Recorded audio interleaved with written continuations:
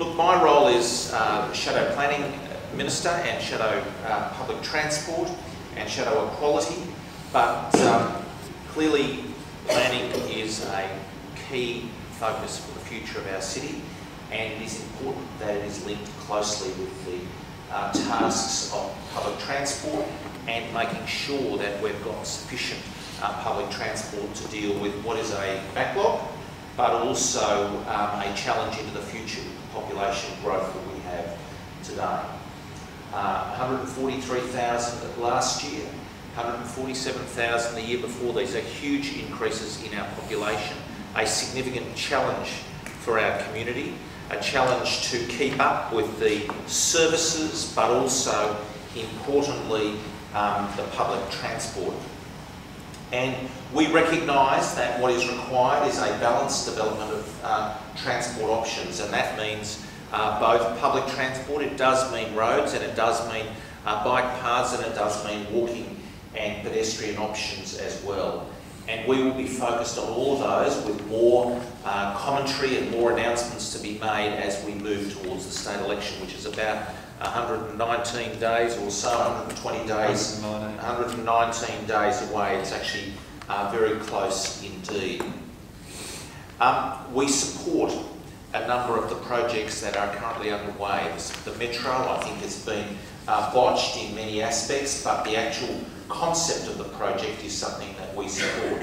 We did actually have a different option, and we thought it was a better option, but the fact is the project is being built, and the city needs the additional capacity as we go forward.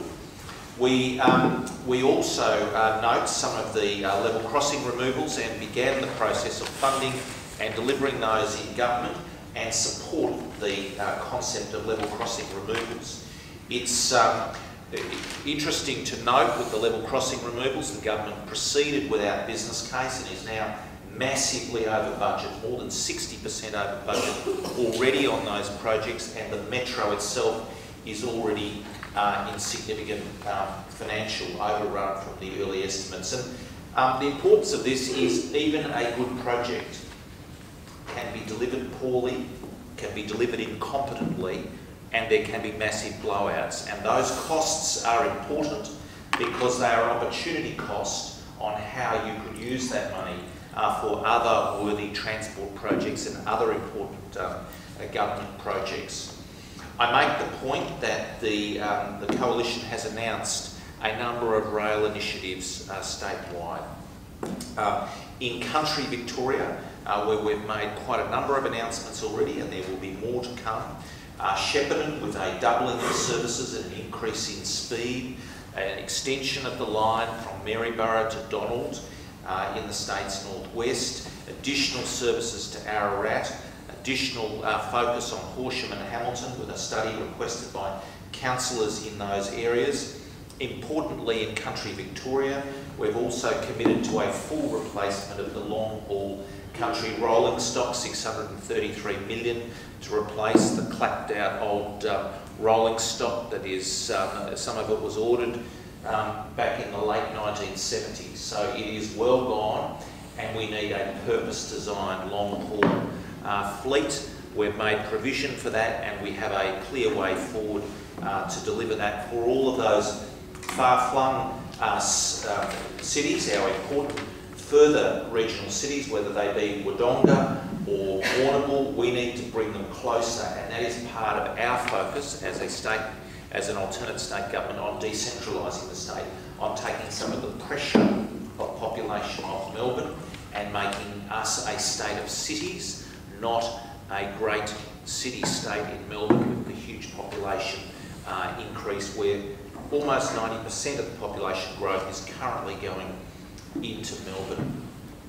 I also say that in the city we've made recent announcements, not only uh, increased frequency of um, uh, of trains on our metropolitan network, uh, but importantly duplication of the Hurstbridge line from uh, Greensborough to Eltham, and that with a full duplication, not a partial duplication as offered uh, by the, uh, the Labor Party. I note the important announcements of extension of uh, rail lines into Clyde from Cranbourne and also from uh, Frankston to Baxter. These are areas of population growth and we're actually trying to get ahead of the curve and actually bring the, um, the suitable public transport into those areas. These are important um, uh, city uh, initiatives and a, a, recognition of what is required. We also note the, uh, very much the performance of the state uh, public transport system. Performance on the Metropolitan Rail system has declined under this government. So whatever the noise, whatever the claims, whatever the, um, the banter from Labor, the truth of the matter is the performance of the Metropolitan um, train system has declined. The punctuality, the reliability have declined right across the whole system. And when you come to country trains, the V/Line trains, the performance is truly staggeringly bad. It has declined significantly over the last nearly four years under Labor. So it is worse now than it was nearly four years ago. So the point here is, again, there's a lot of noise from Labor about how great they are on doing this and how great they are on doing that, but they actually can't run the rail system properly. They can't run the tram system properly. And the truth of the matter is on buses, which have got a critical role to play in our public transport system in the city, patronage on suburban buses is falling. Now, you know, really? Massive population growth, and you've actually got a decline in the patronage on uh, our public bus system. So that's actually the true performance of Labor. Look at the actual numbers that are published in the budget and you will actually see that bus performance has fallen.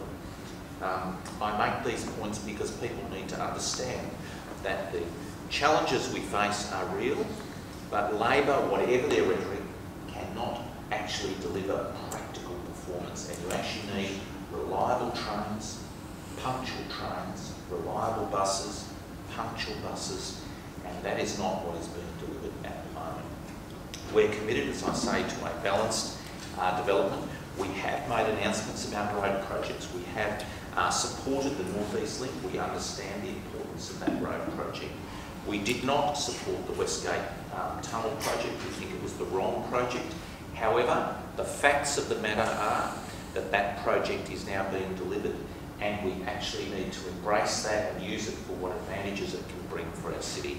We think it's a mistake not to have the major roads connected and have obviously made announcements to that effect.